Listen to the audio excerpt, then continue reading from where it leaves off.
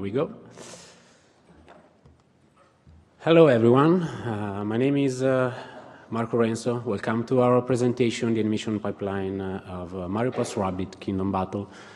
Uh, I'm the animation director at Ubisoft Milan, and I'm here today with uh, Tommaso Sanguigni, our animation technical director at Ubisoft Milan.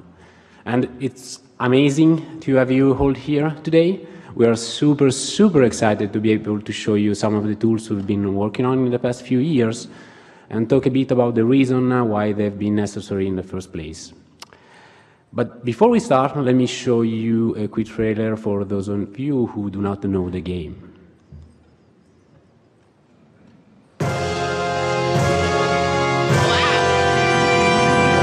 Who do you think you are? You should kneel on the start. You are nothing but a parody. I find you a good role in a tragedy. Camille, let's go. The only words you know. My heart will touch your princess's heart, and you will be the part. You think you'll win this tournament?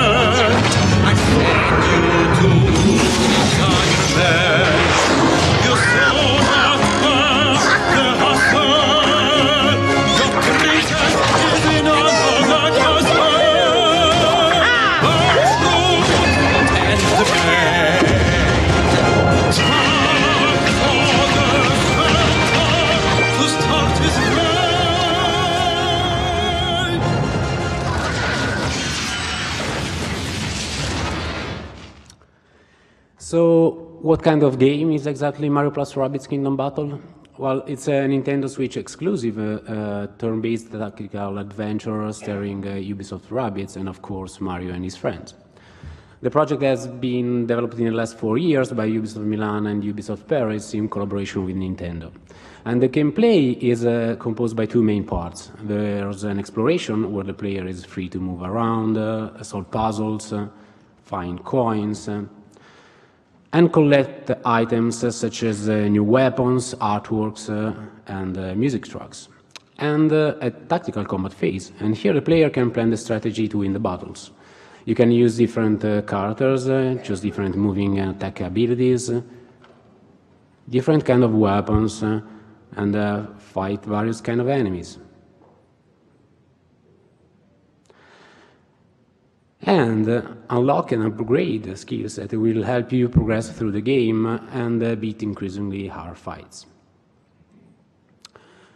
So here's a quick overview of what we will discuss today. The talk will be split into parts, and the first one, I'll I'll show you how this project came to life and what kind of goals and constraints we had to take in, to consider when planning our pipeline.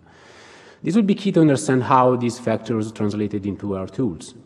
In the second part, in fact, uh, um, starting from these uh, requirements, Tommaso will discuss the technical implementation of some of them, uh, showing the functionalities that made this project possible.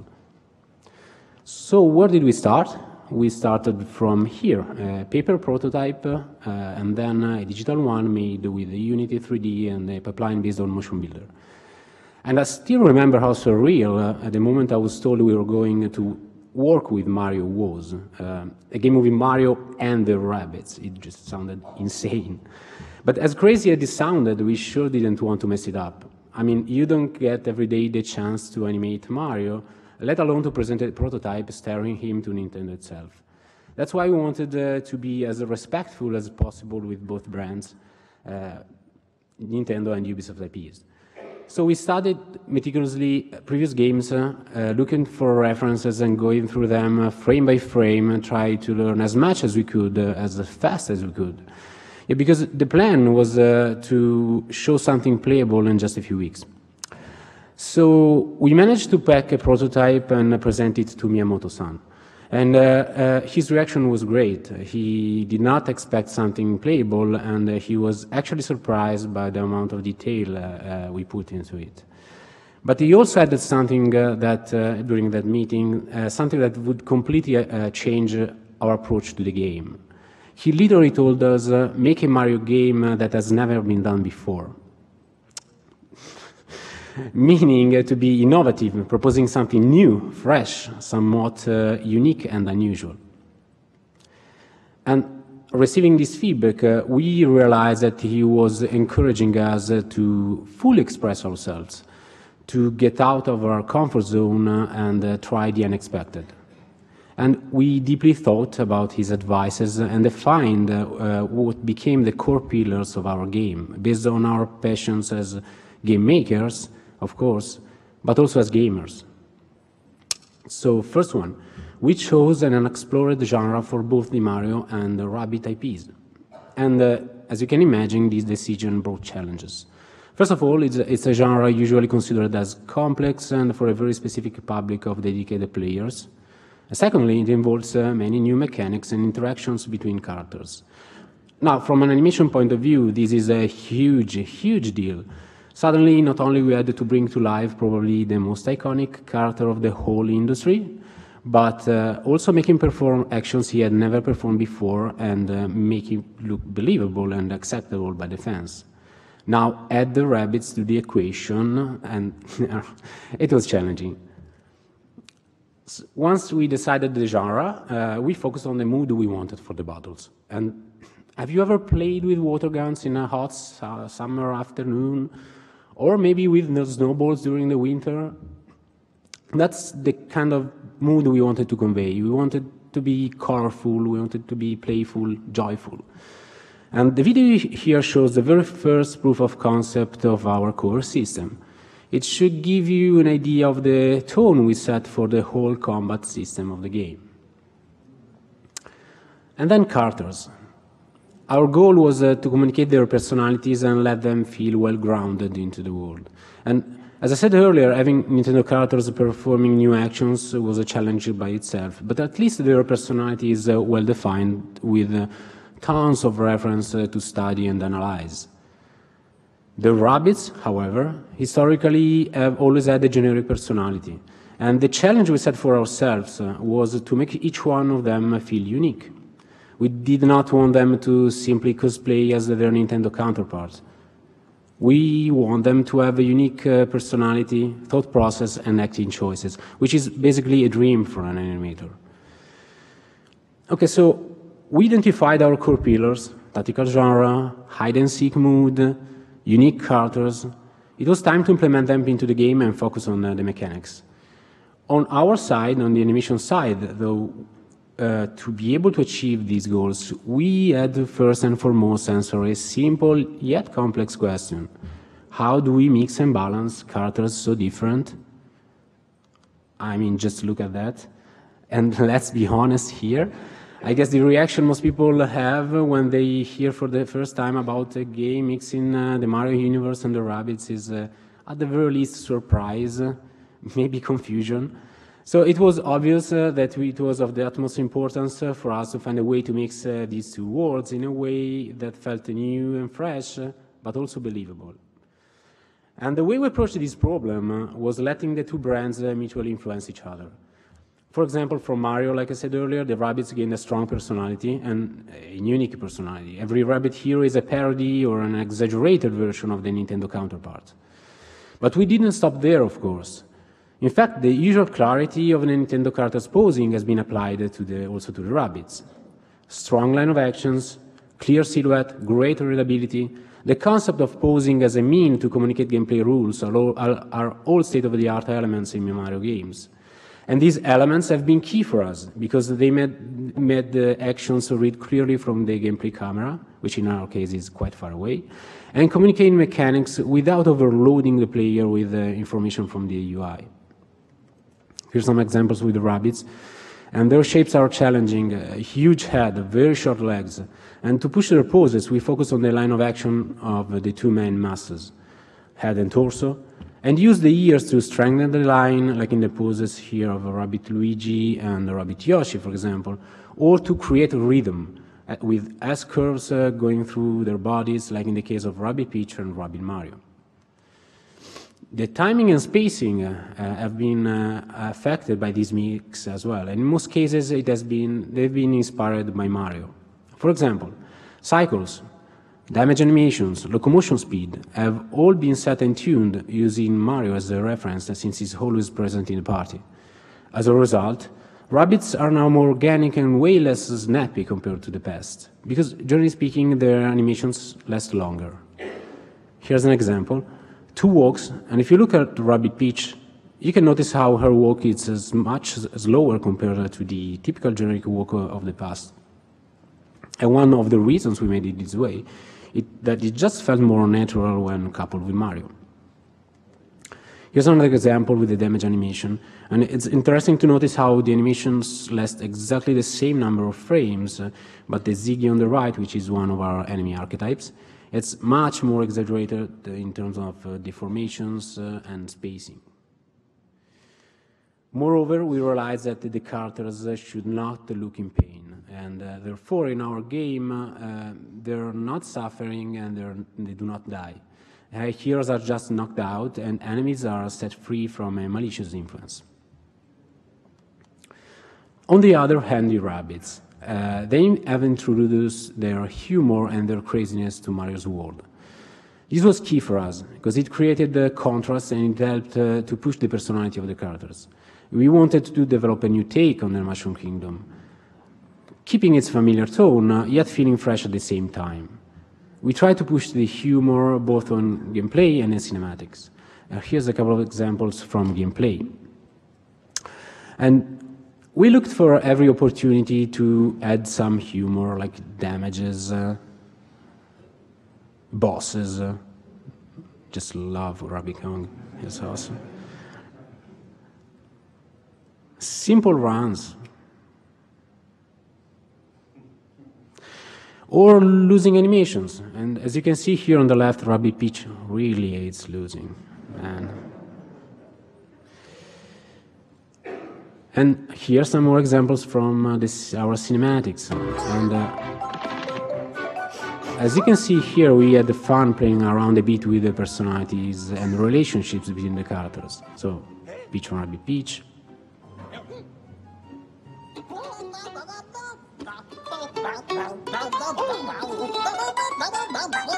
Mario and Rabbid Mario.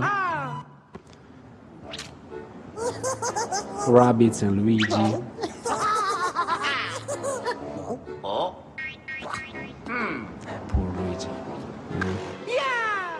Rabbid Peach, Mario and Peach.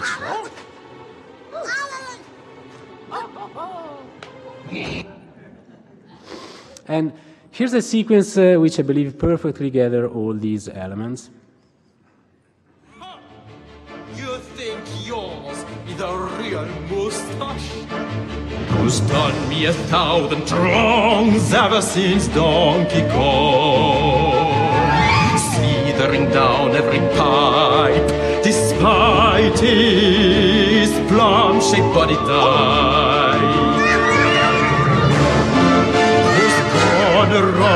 fear while screaming, Mamma Mia! Who leaves me grey and grim? Oh, what does Peach see in him?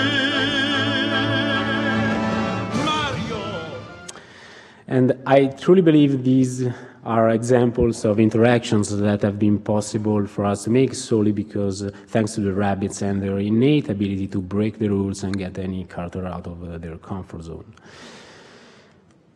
Obviously, we had to mix uh, the cartoony style of both IPs, uh, but we wanted to push forward, exploring new directions. Uh, in order to do this, we exaggerated the deformations, uh, especially through squash and stretch, to achieve a more organic feeling. Rigs have been built to support these kind of uh, animations and deformations. So here are some a couple of examples with a Rabbid Kong, and as you can see, the animator has really a lot of freedom in the way they can uh, adjust and change the shapes uh, of the character. Sometimes too much, probably. And you can also see how specific uh, each one of them is due to huge differences uh, in terms of the design and size between all the characters, heroes and enemies.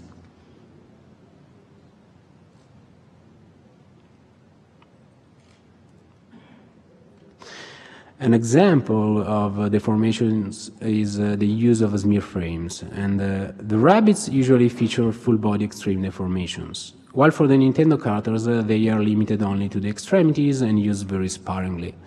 So here's, an, uh, for example, Rabbid Peach,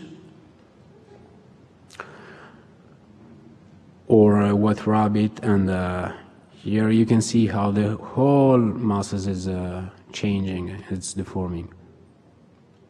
While for uh, Luigi, it's limited only to his feet, and hopefully you won't notice it in real time. so we had our goals set on a specific style. It was time to focus on the actual implementation of some of the core mechanics. And uh, we first started from the locomotion. We actually have two types of locomotion in combat and uh, during exploration phase, and each one of them has its own set uh, of specific animations. They are both code-driven in order to achieve a classic arcade feeling, and plus it allowed the designers to tune it as much as they wanted without having a strong dependency on our work. And the same is true for special movement abilities like the dash uh, or the team jump.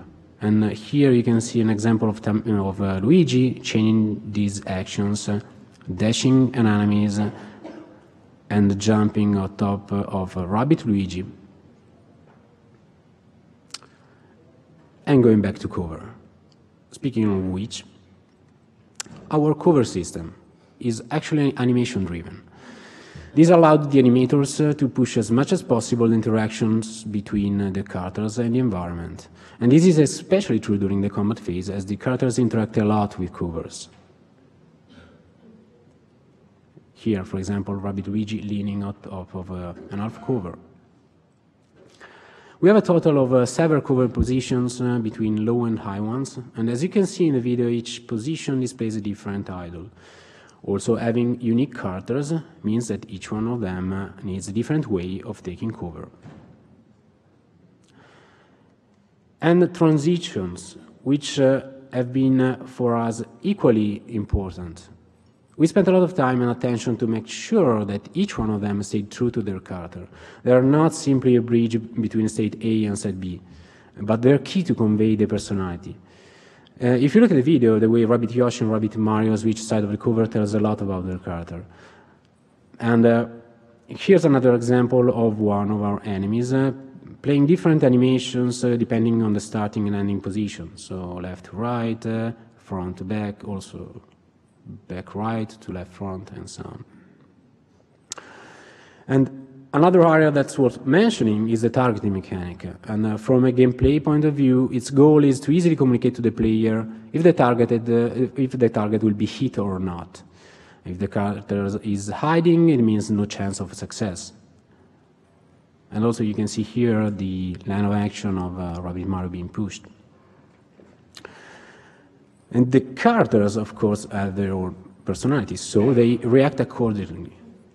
So here's an example with one of our enemies, and uh, the reaction is also based on the position of the attacker. So if Mario is in front of him, he will have a reaction, but if he's on, in, on his side, he will react differently.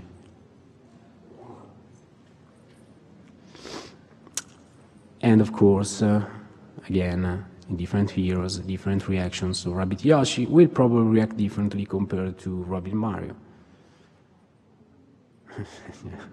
we love uh, Italian acting cliches. But we, are Italians, so we can. So another tiny detail that might be hard to notice, but when you're attacking and the character uh, and another character is on the way, the one in the middle will uh, duck. Um, to give the idea, he's actually trying to get himself out of the way. So Mario is trying to dodge the bullet here.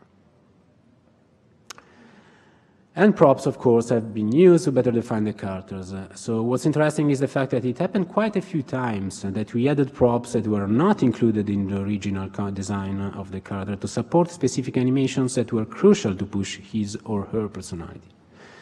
For example, the mustache, the toothpick, the mandolin, and the pizza of uh, Mario have been introduced very, very late uh, in the development cycle to bring his personality on par with the other heroes. And again, of course, to convey humor and parody. So everything you've seen so far hopefully has shed some light on uh, some of the artistic challenges we had to overcome. But I guess that no project comes without its own amount of uh, technical challenges, and this one was no different. In fact, first of all, we had to switch to a game, a new game engine, and Snowdrop is the latest Ubisoft proprietary game engine. It has been chosen for its uh, flexibility, scalability, and of course rendering quality. But it was built with the Division in mind, which was a, which is a totally different game compared to our project. We also had to develop for a new console, and probably you only you'll know what it means, right? We also had to handle uh, um, two important IPs, which meant that not only the artists had to learn how to work with the characters, learning their psychology and mechanics to the point of knowing them by heart, but we also had to learn uh, how to handle the feedback uh, uh, received, which could come at any time during the, the, process. And we also started with a fairly small animation team. In fact, we started with just uh, four animators, uh, one pipeline TD, and one character rigger. So to sum up, we developed on a new engine, a new console. We had to prepare to react to a feedback we've never received before with a small team that was working on a Nintendo IP for the very first time. So how? how did we avoid all the mistakes we were leading into? Actually, we didn't. Uh, what we did was planning for mistakes. We quickly realized that uh, there were just too many variables uh, and avoiding mistakes would have been simply impossible. Therefore, we focused on planning the inevitable mistakes, giving our animators uh, ways to explore, experiment, prototype new ideas, uh, and above anything else, uh, learning while doing so. We set the time for them to prototype and experiment or simply play with the characters. And this gave birth to some of the coolest ideas that we ended up implementing in the game. So here you can see some example of this process, and if you look at the animation in the bottom row, for example, they've been used in some way or the other in the game.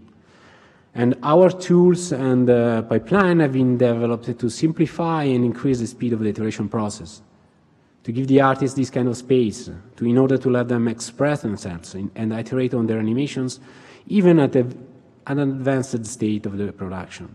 And uh, Tommaso We'll now show you some of these tools, uh, which have been key to the success of the project.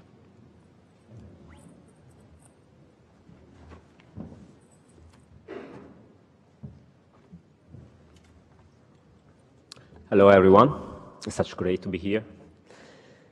It's now time to go a little bit uh, more technical.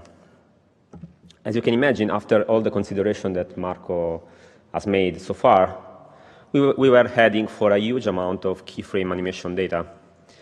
And uh, as a technical uh, department, we wanted to make sure that the iteration on this uh, amount of data wasn't uh, frustrating for the artist. So we tried to keep uh, being focused on these two main concepts for the development of the pipeline. Freedom to, to explore, in order to let the animators easily manipulate such amount of data, and fast iteration, in our case, in special, especially in order to react uh, quickly to the feedbacks that could arrive from both IPs anytime at any stage of the production. The first step was to find a logical way to rationalize and organize such an amount of animation data. If we could arrange multiple clips in the same file, it is easier for the animators to iterate and compare on uh, related animation clips. There are different ways of achieving this. If you are on Motion Builder, you could take advantage of the take system. But our pipeline is on Maya, and we don't have a native take system. We try to arrange clips uh, on the timeline uh, one after the other. We try to use the tracks editor. But in the end, we decided to go for animation layers, as uh, at first glance, it looked like to be the answer to our question. However, for uh, the animators, working with the animation layer wasn't uh, really intuitive. If you have to move one clip or the other, you have to turn on the corresponding animation layer, turn off the others, uh, adjust the timeline, and so on.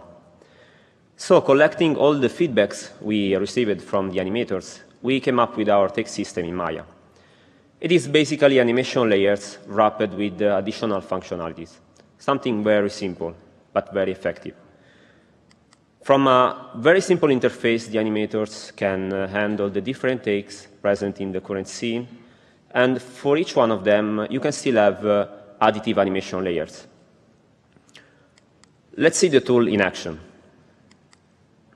The animator can select the controls he wants to animate. From the takes pane, he can create a new take and assign a nice name for it. And adjust the timeline. As you can see, when the timeline changes, the new frame range is recorded inside the take uh, pane. And then the animator can keep working as usual.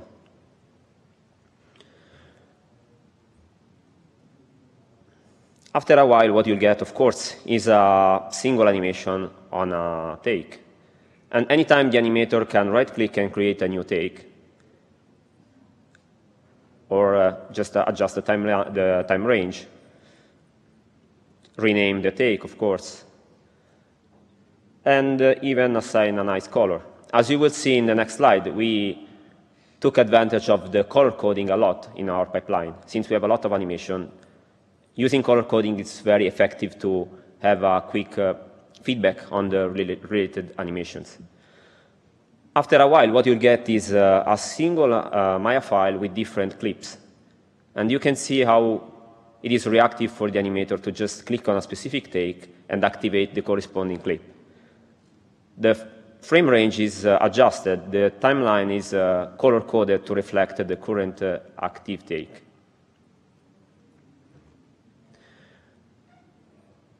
And uh, we, we took advantage of uh, mm, metadata and attributes. So something very simple uh, uh like uh, a reordering uh, takes is very quick compared to reordering, reordering animation layers. We stressed the take system and the animation layers to the max. And it resulted to be so reliable and so effective and so intuitive for the animators that, that we started to build upon of this simple tool. So we integrated the take system with uh, our exporter on the left and our process library on the right. But uh, we didn't stop there, of course. Even if our scene files are under version control, we may wanted to save in the same Maya file different versions of the same uh, animation clip. So we, we, created a take version system in a way that the animator can uh, realize such uh, functionality. Let's see it in action. The animator can right-click on a specific take and create a new version for that take. It can be an empty version or a duplicate of the current version. And he can animate uh, the one version or the other.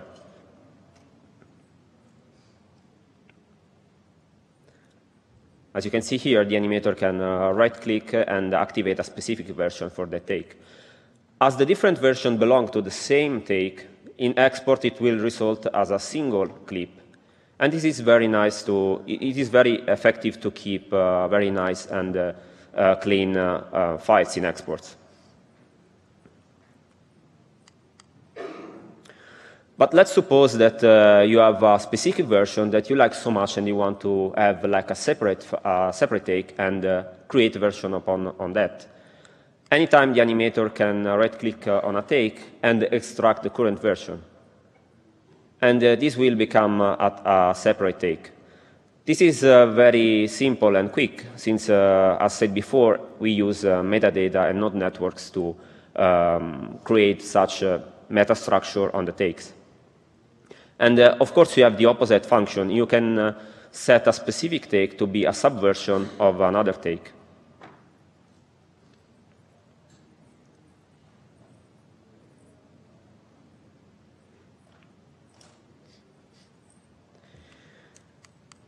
And time markers. For each take, uh, we also added the possibility to set uh, specific time markers. Uh, this allow, allow, the animators to visually uh, mark specific areas of the timeline. As you can see here, the animator can uh, select uh, a specific area of the time range of the timeline and uh, mark this area, in this case as an intro phase.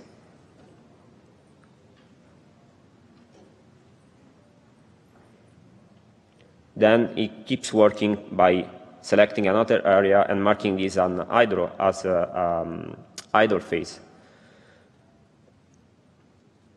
And just like uh, said before, you can assign a specific color coding for that area.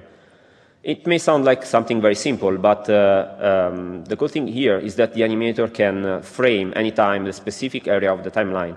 This is very effective for, uh, for instance, for uh, framing the idle phase and making sure that uh, the looping uh, animation is working properly. And also, the animator has the possibility to export the markers separately or as a wall.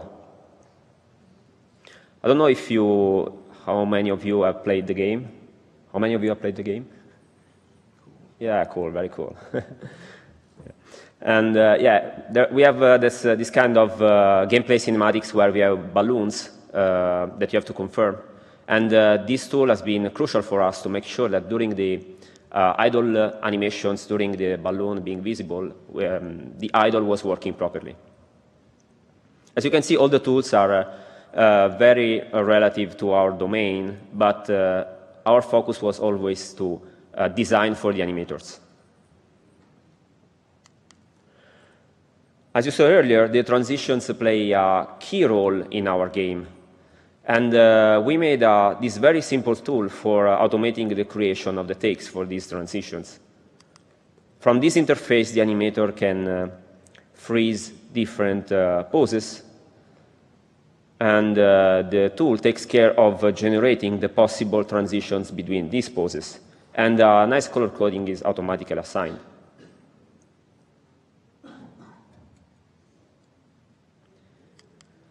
Then we have some uh, other little extra features, like uh, the ability to mark specific takes to, the, to be ignored.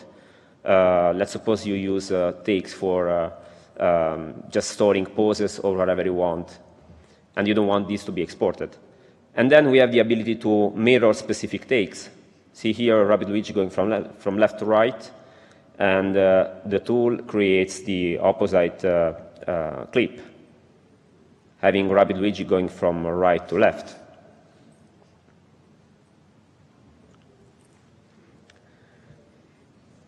The same way, we can create a reverse uh, of the current take, we have Rabbid Luigi going from cover left to back. And we can reverse the animation uh, and having a take going from back to cover left.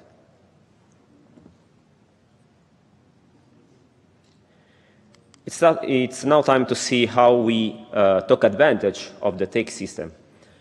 Here you can see a typical uh, file structure of uh, one of our heroes. As you can see, it's, uh, it's very nice and uh, clean. All that uh, light blue files are our Maya scenes. And on the right, you can see uh, an example with uh, Rabbid Mario. Starting from uh, 92 Maya scenes, the animators generated 592 takes, and in export, there was just 530 exports. Could you, could you imagine iterating on 530 Maya files separately? probably it's a nightmare. And uh, here you can see one of the heaviest scenes, just to give you a quick uh, feedback in terms of performance. On the left, you can see the standard uh, Maya Animation layers. On the right, our take system.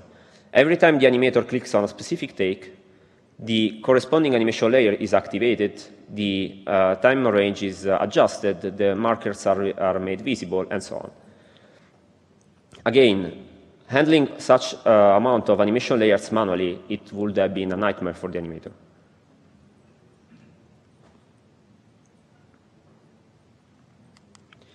Let's talk about uh, poses now.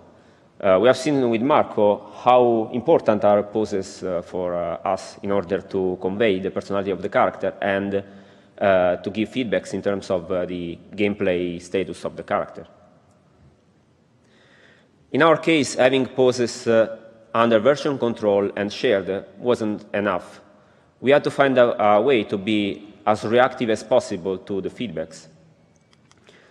Here you can see a typical uh, feedback that uh, our animators received during the, during the production.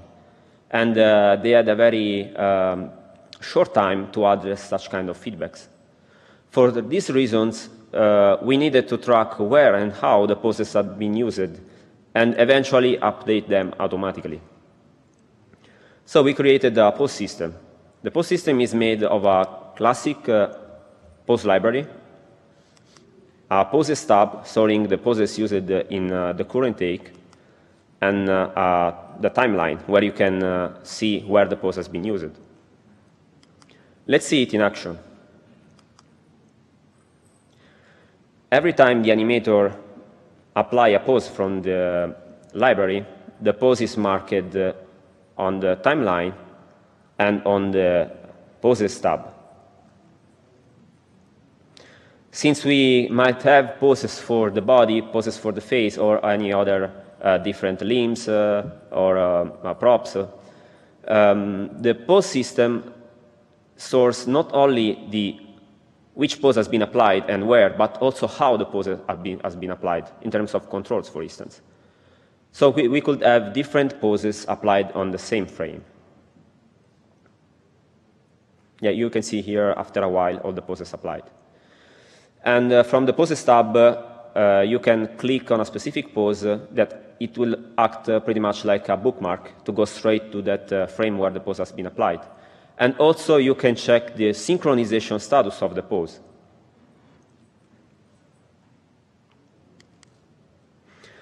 Let's have a look at how we update a pose to react to a feedback. When a feedback arrives, the animator can right-click on that specific pose, choose Edit, and uh, tweak the pose as uh, required by the feedback.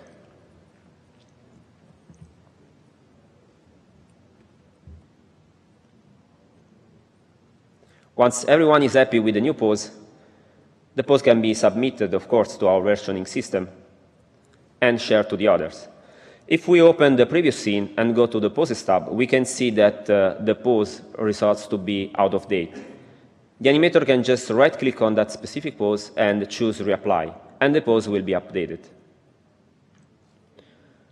Like the take system, also the poses rely on a shared library, so we can easily script the update of the different poses or check the status on different scenes, all in batch. And also we, might, uh, we also have the ability to uh, fade the poses with the current animation in a way that we can uh, have uh, nice blending uh, transitions. Let's talk a bit about uh, data management. As you can imagine, the take system and the pose system is the animator's work. But on the technical side, they introduced a lot of additional data to be managed. In fact, now for a single uh, Maya scene file, we have rigs that may be updated anytime. We have different uh, takes stored inside this scene. And for each one of them, we have different poses we have explicit dependencies like the rigs, but the poses and takes are implicit. So how we could uh, make sure that uh, everything is nice and uh, in sync? We created an overseer tool that basically uh, is the answer to this question. Here you can see basically the same dependency graph uh, you have seen before. On the left, the animator can uh, load different scene files and uh, quickly check what is the synchronization status of the pose of the uh, scene file. On the right, you can get information about uh, the takes contained inside the scene file and the poses uh, synchronization status, and a text log of uh, what is the synchronization status. Let's see how it works in action we can load a um, specific folder with all its all subfolders and contained uh, scene files.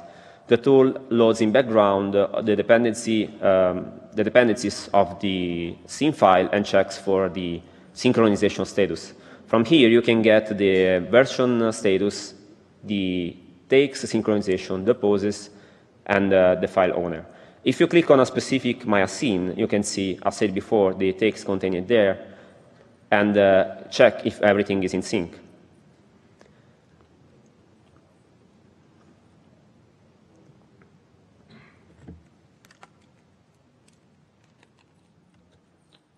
And of course, the dependency graph.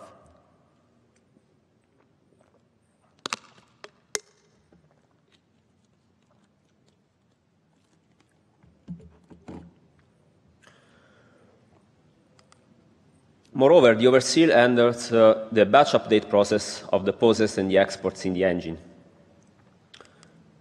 When we load the different uh, scene files, you can see that uh, only specific scene files are checked. This corresponds to the Maya file that needs to be updated.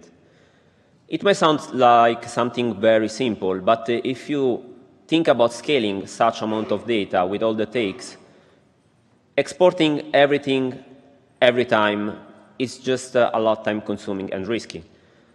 As you can see here, the batch exporter selects not only the specific scene files, but also the takes that needs to be updated. We have a lighter version of uh, the overseer for the cinematics. On the left, we have the, cinema, the different cinematics. And on the right, we have the different shots that belong to the cinematics. Like before, just watching at the icons, you can uh, get uh, visual feedback on uh, what is out of date. And uh, you can uh, see a um, play blast of the specific shot or the whole uh, um, sequence. Every time the animator updates a specific shot, the whole sequence preview is automatically regenerated on server side. Let's go a bit uh, deeper on uh, how we realized the uh, dependency tracking. To track the Maya scene uh, content, we used uh, a sidecar technique. Basically, we have a JSON descriptor describing uh, what's inside a specific Maya file in terms of takes, markers, poses, and rigs. If for some reason the scene is modified outside of our pipeline, a ghost process takes care of regenerating this descriptor by scaffolding the scene file. To checking the synchronization status of the takes, we use a dirty bit technique. Every time the animator updates a curve, um, Maya callback triggers a set dirty method on the current take in a way that the animator can just uh, uh, watch the takes, and uh, if uh, the current take has been uh, updated, it will be marked with a star. To check the synchronization status of the poses, we use both the dirty bit technique as before and the timestamp technique. In fact, the poses are just uh, files, so we could easily check the last time the pose has been updated with the last time the pose has been uh, applied on the specific take. For the export, uh, things are uh, a little bit simpler since the exports are just uh, Maya file, um, sorry, FBX file that are uh, the animation, that is the animation data that we feed to, the, to our engine. So we could just check the um, latest update of the FBX with the latest time the current, the corresponding take has been updated.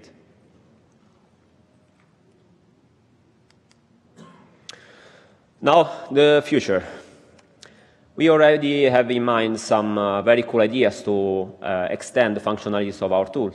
But uh, of course, for us, the priority is still to improve the overall performance and usability of the tools. Maya introduced a cool time editor in the latest version.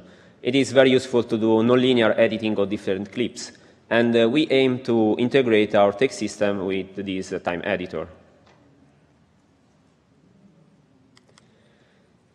And uh, at last, uh, we are working for having uh, a tighter Maya engine workflow in a way that uh, we can short the time from Maya to the engine and transfer metadata from, the Ma from Maya to the engine. So this concludes our talk. Uh, I just want to thank you all for being here in behalf of the Ubisoft Milan and Ubisoft Paris studios. This project was really made by heart by every person in the studio. And of course, we had a lot of fun working with that. So thank you. And uh, these, are, uh, these are our contacts. Feel free to contact us for uh, uh questions or just uh, get in contact. And I guess we have time for Q&A. Thank you.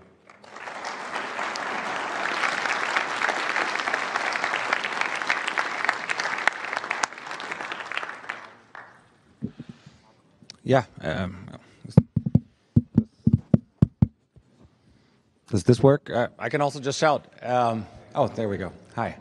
Hi, I'm Alex. I work at Riot. Um, first of all, thanks for the game. That's awesome. Uh, really enjoyed it. And I think the opera scene is probably one of the funniest moments I had in games ever. It's amazing.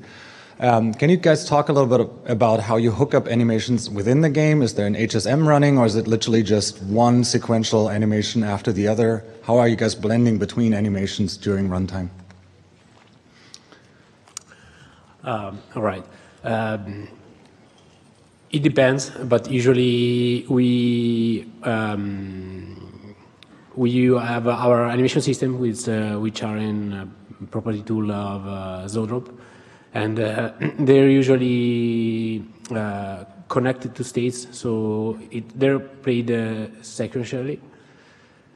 But it supports also the use of uh, layers uh, if you want. So it, it depends on the feature. Okay, thank you. You're welcome. Uh, I was just curious about uh, how you give your feedback back to your animators because you had like a little sketch over the, like, d- what's your system? Do you have like an in-house tool or anything? Uh, not really. Uh, usually, um, the feedback is based mostly on uh, recording in engine, and uh, we we do use uh, drawovers if needed. But we have several steps of uh, validation. Actually, we have a very first one uh, very very very soon um, to get uh, overall approval uh, by the brands and all the people involved uh, to get if the idea is right. And then uh, the more uh, we move forward, uh, it moves into polishing details. Uh, so for those, uh, uh, usually it's uh, we have we actually have a, a tool uh, that uh, generates uh, play blasts uh, um, of uh, the animation from several camera angles to speed up this process. And it's what we, usually do, for example, to get approvals from the Rabbids brand of, uh, or from Nintendo. It's just ease the process. And, uh, and then it's just we have dailies to get the feedback from the whole team, and basically that, that's it. Thanks.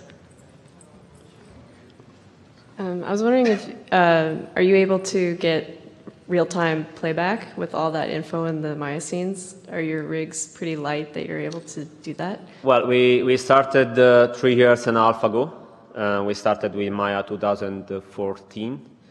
Uh, at the moment, uh, we are uh, migrating to the latest versions, and uh, of course, we will um, improve our rigs to, make, to take advantage of all the new features like the GPU caching, all anything else, the parallel evaluation, of course. And uh, there was a nice talk on yesterday about uh, forward-facing rigs, and uh, it was very inspiring for us. It totally blew, blew my mind on yesterday, so I, for sure, I'll uh, start uh, from uh, with that ideas. Yeah, it, it's one of the area we'll uh, focus on uh, the most uh, moving forward to add uh, real-time feedback uh, in, in our scene. Uh, I, I think uh, there's the latest version of uh, Maya. There's a beta right now that uh, they're working on it to to to, to remove the, the need to do to, to make play blast at all. So that, that's super cool. It's uh, it's it's uh, a good frame rate, but uh, for gameplay animations it's real time. But for the cinematics, it's still not there, and uh, that's what we're aiming for. Also, gameplay was able to get real-time on this project? The, I'm sorry.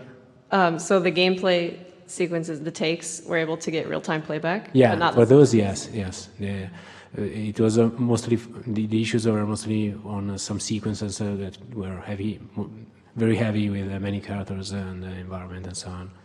Yeah, I, I can tell you that uh, what we did for uh, having these uh, more efficient uh, animation layers, uh, part of the um, handling of the animation layers of, in Maya has been uh, rewrote in a way that uh, could be more efficient. Uh, I can give you maybe a deeper uh, insight. If you think about the corresponding curves belonging, animation curves belonging to the same take, to the same animation layers, the Maya standard uh, way of uh, enabling of disabling this layer is to turn on and off the lock of these curves.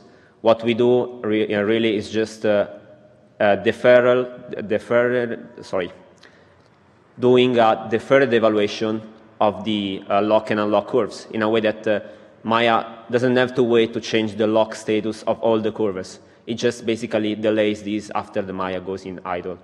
I don't know if that's clear, my English. you know, you very we, we have an additional layer as Italians. We have to convert. you. And also another uh, uh, nice tip for uh, everyone.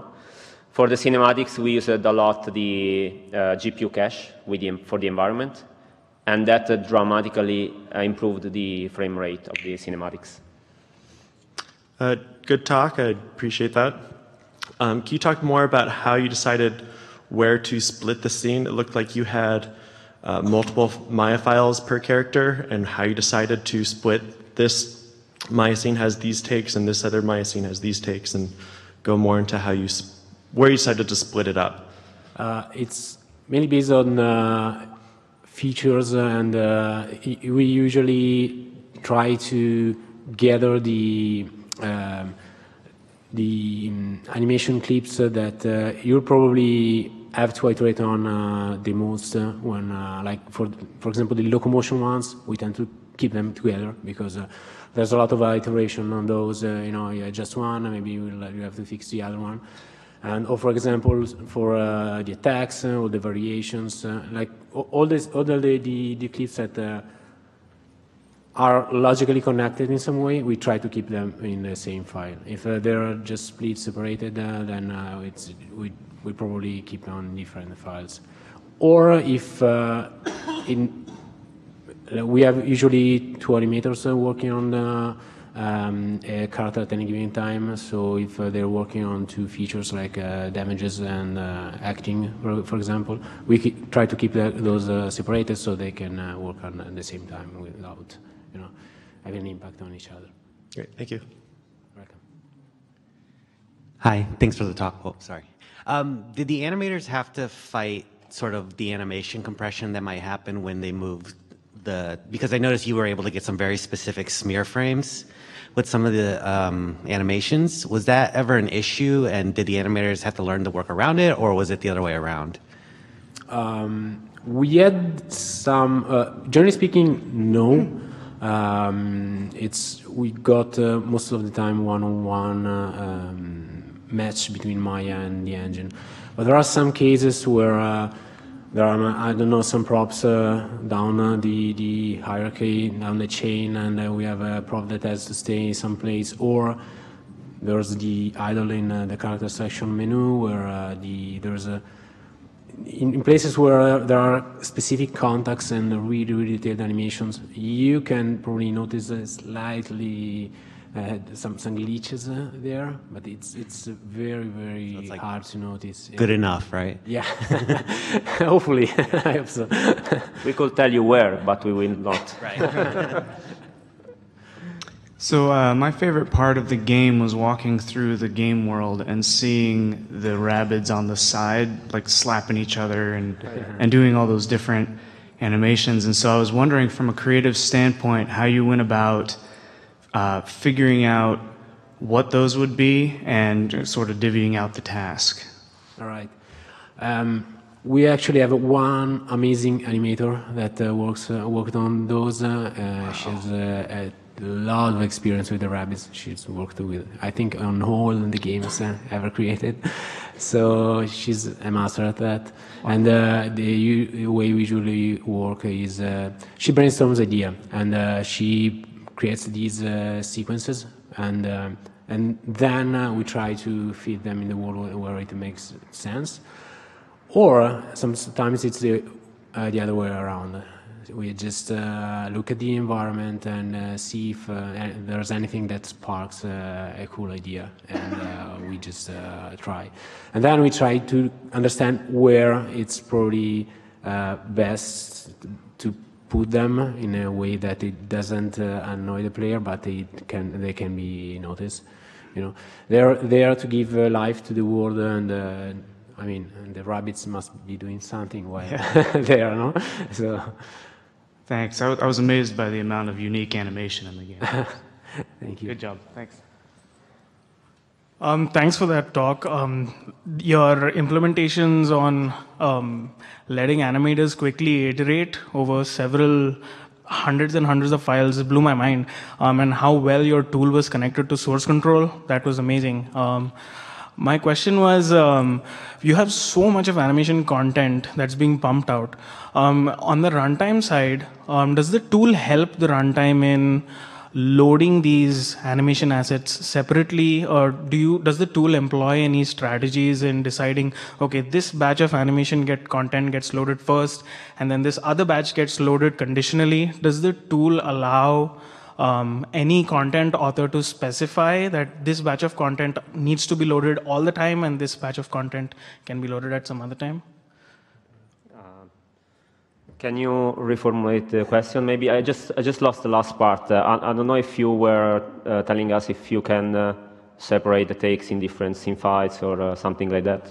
Um, I actually was talking more about um, conditional loading of these animation assets on the runtime side. Did the tool have any strategies to suggest that certain animation content should be loaded all the time and certain content only on on uh, you mean on engine side right did the, uh, my question was did the tool make any improvements on the metadata layer? Uh, okay uh, so the way the engine works right now is uh, the the clips are loaded uh, for any character that is in gameplay. But for example for cinematics to avoid the load of um, usually to, to, to, to, avoid loading usual usual useless animations what we usually do is we have specific characters made for that. So in for those uh, those uh, basically don't load anything. So do not overload the, game.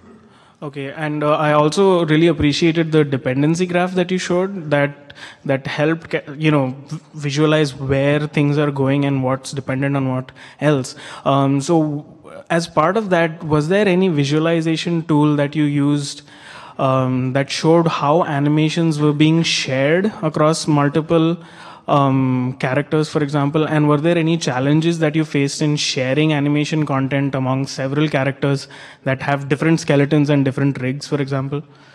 Uh, yeah, sharing was uh, an issue. Uh, in fact, most of, uh, of the, the, the, animations are specific, but we can. Uh, it happened that we shared the stuff between uh, the um, Rabbids, for example, as a starting point, at least and uh, I, I, don't think we, we, we don't have uh, we don't have uh, that kind of uh, uh, way of visualizing if uh, how the dependencies are used. We have the um, database that we can query using standard queries to check the dependencies, but it's, it's something separate from Maya. Basically, it um, works on the data that is baked inside the engine to check the dependencies. And the fact of sharing, it was uh, a challenge for us, uh, mostly because the, the difference in terms of proportions of the characters, but also in terms of uh, in, creative intentions. Even the Rabbids, as, you, as you saw, they have to convey different personalities. So it was also a creative choice to don't share everything. Maybe we just start from the same file, but after they, they go for their own way. And of course, it has a cost in terms of uh, iteration. So that's why we built all this structure to uh, make iteration easier. Cool, thank you. Thank you. Hi, I'm trying to apply those old Looney Tunes techniques of squash and stretch and silhouette to my uh, the game I'm working on. So I studied this game like a textbook because I really can't think of a better example. Um, and watching that Rabbid Kong deform in all those crazy ways was pretty exciting. So, do you have any secrets you're willing to share about how to get that sort of crazy deformation without breaking the mesh and breaking the rig? You mean on the technical side or uh, on the artistic side, or both? Or both. okay, I'll, I'll try to reply on the technical side. It is, uh, it is challenging. Uh, we used uh, uh some parts of the rig are uh, automated, some parts are handily crafted, crafted, and that was the secret to make that kind of freedom we have on, on the rigs but uh, it, it, was challenging because you have everything uh, basically on joint based. And at some point of the production, we introduced a kind of a blend shape based on vertex shader. Uh, we created a tool for automating all this stuff. And uh, that gave us a little bit more freedom in terms of deformations. But uh, the challenge for us was to let everything work real time with just joints. And uh, yeah, that's it. And yeah, the advice is uh, of course, uh, smear frames and deformation have to be felt but not really seen. So uh, the, the, the, focus should be in uh, keeping the volumes and try to, get to, to avoid getting the character out of uh, yeah, out of his uh, his, uh, his design. Um, but what we usually do, we go broad, we exaggerate it, and then if it's noticeable, if it it, it just doesn't work, we scale it uh, back. It's, it's better than uh, go up little by little, you know. Thank you. You're welcome. All right, I think, okay. And uh, if he, anyone has any question more, we will be able uh, um, to show some of these tools at the Ubisoft Lounge this uh, afternoon. We'll be there to answer any question. So if you want to drop by and uh, say hello, we'll be there. So thank you all. Thank you.